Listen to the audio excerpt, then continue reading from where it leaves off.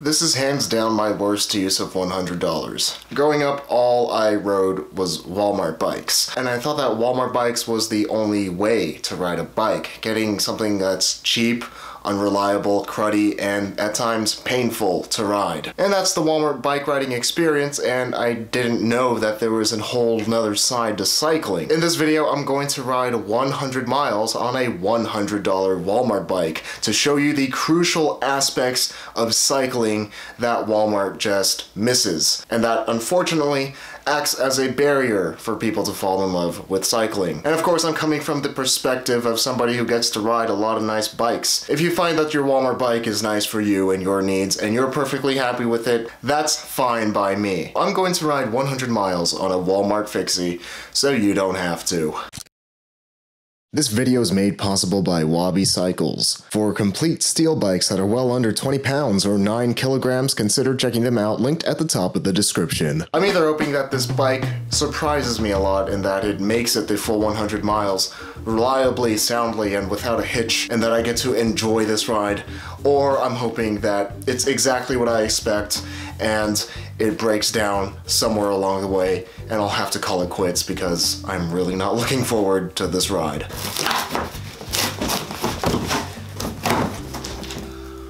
Oh, it's as awful as I was expecting it to be. They didn't even wrap, it's just wrapped in paper. It's just, this thing weighs a ton as well. Oh my, that is, that is too heavy to be called a bicycle. Luckily, there's not much packaging, so this unboxing should be very quick. These cranks look like they're made out of plastic. Um, that is, that is, the outside of those cranks are actually plastic. I don't know how much of it is metal. That is plastic. Are you kidding me? I didn't know that was possible. I think there's a metal core, but dear God.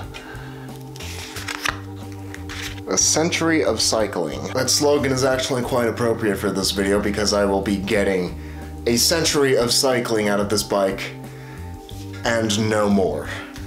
I sure hope it's less though. Oh, they actually have to label it Fixie so you know what it is because you can't tell just by looking at it. Just to be clear, this seat clamp is as loose as it can possibly go. I'll even take out the bolt to show you. Oh, there we go. All I needed was a hearty smack to get in. Dear God, it just falls in. So I need to get this rear wheel off in order to flip it from the freewheel side over to the fixed gear side. This is the biggest wrench that I have, and I know you're not supposed to use adjustable wrenches on these things, but Oh, that's, yeah. This bolt absolutely is not budging whatsoever. I am actually quite impressed that they were able to get it on this tight. I don't know how they did it, but bravo.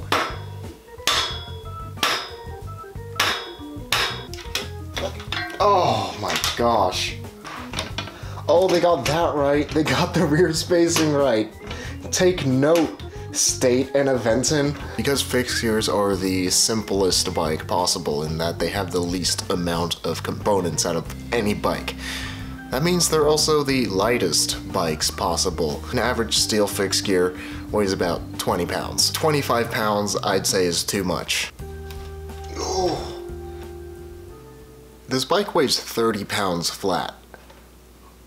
For my own sanity, I don't want to just be negative about this bike, so here's what I like about it. It's not all bad. Um, the tire clearance is some of the widest that I've ever seen on a fixed gear. You could drive a bus through this tire clearance. It currently has 38C tires and it still has plenty more to go. I think that's because this is actually a mountain bike frame set, but that's neither here nor there. The second thing that I like about it it's a bike. I'm really nervous that this bike will hold up. It, it is built like a tank. It might just make it, and that bums me out.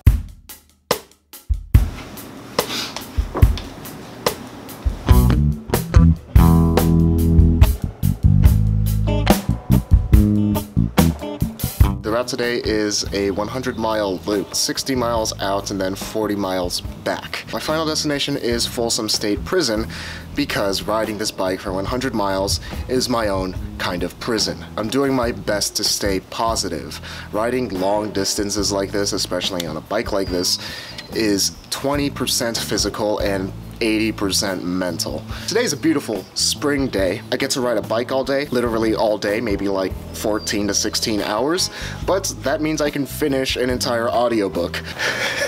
and as long as I keep a steady and conservative pace of 10 miles an hour, I should get there in only 10 hours of riding. So it should be fun.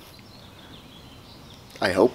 So right now I'm about two miles out and we've experienced our first mechanical issue. The chain fell off while I was climbing up this gentle overpass. I made the chain tighter than I usually do to prevent this, but apparently the cog and the chain ring are so out of round that it still fell off when I started to push it with a tighter chain. This is the first time I've ever dropped a fixed gear chain.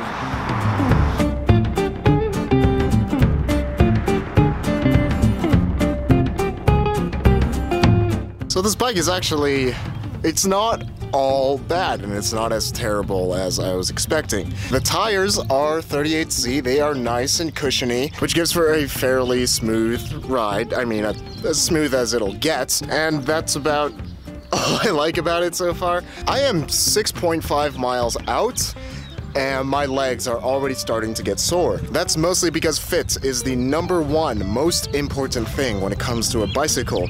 And with the Kent Walmart Fixie, you get a choice of one size. And that size is 700C because they don't even size by frame, they size by wheel. The frame set itself is similar to a 54 centimeter bike. Now I'm 6 foot or 182 centimeters, and I normally ride a 58 centimeter bike. And when it comes to bikes, every single centimeter counts, especially on long distance rides like this. If you don't have your bike really dialed in for something like this, you could get injured. But hopefully the bike gets injured before I do.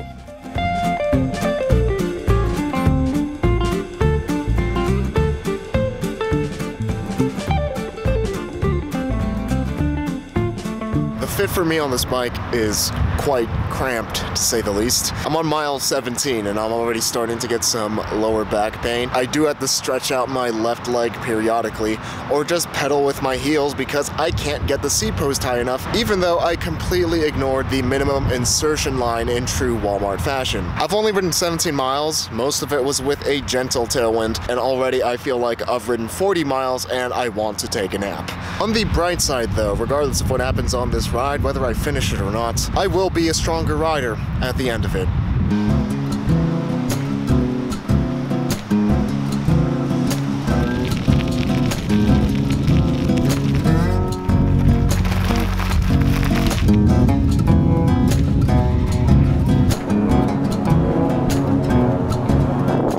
About two miles of gravel, and surprisingly, this Kent Walmart Fixie rode pretty confidently over that two miles of gravel. It probably has to do with this relaxed geometry that looks a lot like a mountain bike and probably is. It actually went from feeling like a slog to feeling sufficient.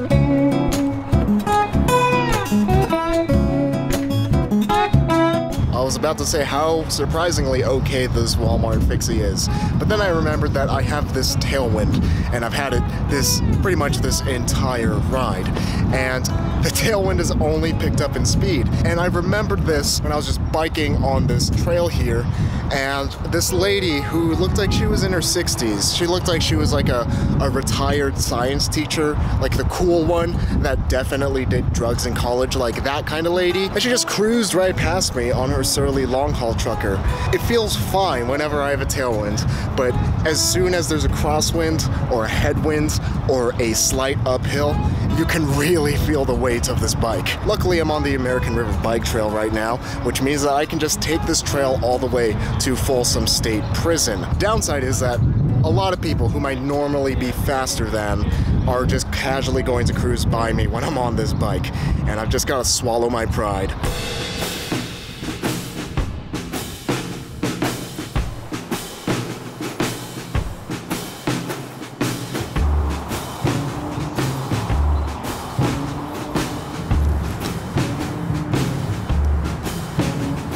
This is the American River Bike Trail. I was supposed to be able to take it all the way to Folsom State Prison. This is Discovery Park, now Discovery Lake. The trail just ends. I could get around this part of the river, but it's likely that the rest of this section of the river is also flooded. And the last section that I filled, I also forgot my expensive mic in Old Sac, So I need to go back there, hope that my mic is there, and then find a different route. This is a park. Well, this was a park. Now it's a lake.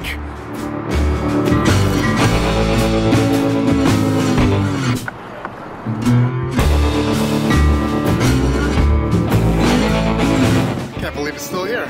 You know, it's a good thing that this bike is slow and that the American River Trail is flooded because I wouldn't have stopped and realized that I left this behind. Plus, I didn't get very far because this bike is not fun. This thing is worth more than the bike.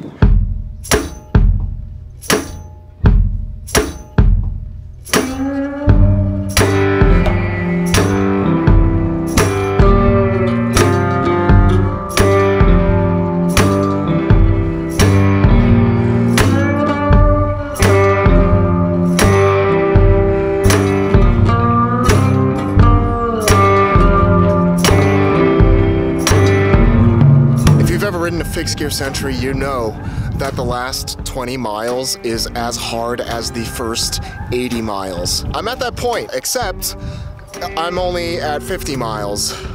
It's called the mile 80 wall. And at this point, everything in your body and in your mind is just screaming at you that you're an idiot and that you should quit. And I'm at that point halfway through. A lot of doubt enters your mind here. You start thinking, why am I doing this? Why am I here? It's just suffering for the sake of suffering. The thing that's embarrassing for me is that I don't know if it's me or the bike. That's how good this bike is. It's actually making me question my abilities as a cyclist. Another thing that's demoralizing is that I'm riding on the paved bike path, and right next to it, that runs parallel, is a dirt bike path, and I'm getting passed by guys on mountain bikes just cruising through the dirt bike paths. I'm getting yelled at on your left, coming through by by old guys with gray ponytails. I want to blame the bike, but it's holding up surprisingly well. And it's it's a little disappointing that it might be worth the $100 that they ask for. I don't want to be here really badly. 100 kilometers in miles. 62 miles for 100 kilometers. That's only 12 more miles for a metric century. I'll check back with you once I get there.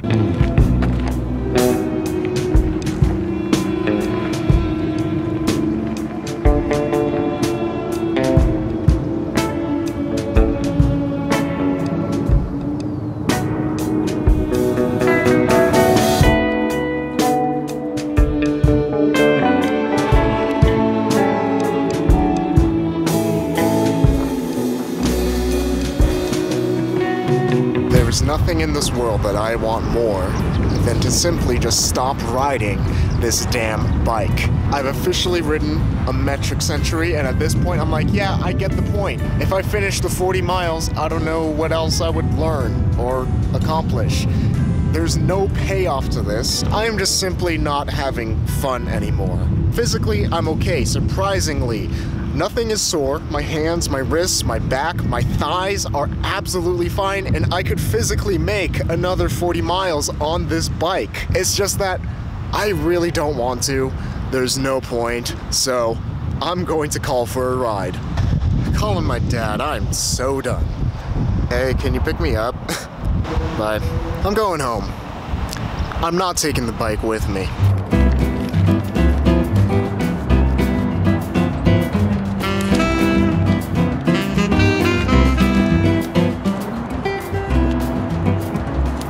Didn't end up finishing the 100 miles, but I would consider 100 kilometers on a Walmart Fixie still a success. And I learned a lot throughout this entire process. Namely, that the $100 Walmart Fixie is surprisingly adequate. Yes, it's heavy.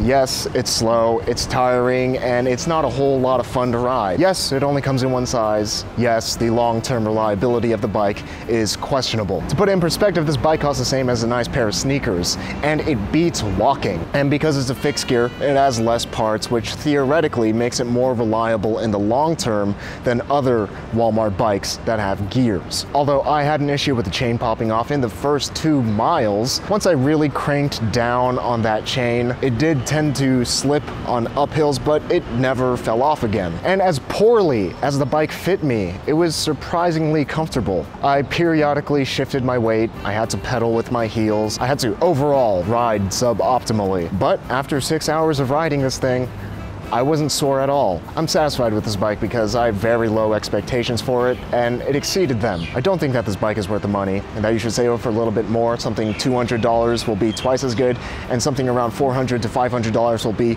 more than four to five times as good as the Walmart Fixie. But if you're in a really tight pinch and you absolutely need a bike for the lowest amount of money possible, the Walmart Fixie beats walking. But if you want to ride a bike, get to point A to point B fast, if you want to enjoy cycling, then it's best to look elsewhere. But surprisingly, if you know what you're getting into, the Walmart Fixie is perfectly adequate. And speaking of bikes where you can really fall in love with cycling, our channel sponsor, Wabi Cycles, is the epitome of what makes cycling fun. Every one of Wabi's design choices are meticulously made to give you the purest ride quality for the money. And Wabi executes those choices perfectly with master craftsmen right here in Taiwan and a friendly bike shop in Denver, Colorado that is eager to answer your questions and get you on a bike that you'll love. This amounts to efficient, elegant, and timeless bikes that you can get from a passionate group of fellow cyclists. Wabi's relentless attention to detail results in Wallace, my 58 centimeter Wabi Special, weighing in at 17.5 pounds or 7.97 kilograms straight out of the box. That's well under 20 pounds for a completely steel, lugged frame set that has no carbon components. That weight isn't just for quoting and impressing other cyclists though. It results in the best riding experience that I've ever had on a bike with a snappy, responsive, and lively bike that only top shelf steel can bring. That pure fun makes it easy for me to ride Wallace, my Wabi Special, as my only bike as I travel throughout Asia. So if you're looking for the bike that could very well put an end to your search for the perfect bike, consider checking out Wabi Cycles linked at the top of the description because it really is the closest thing that I've ridden to the perfect bike.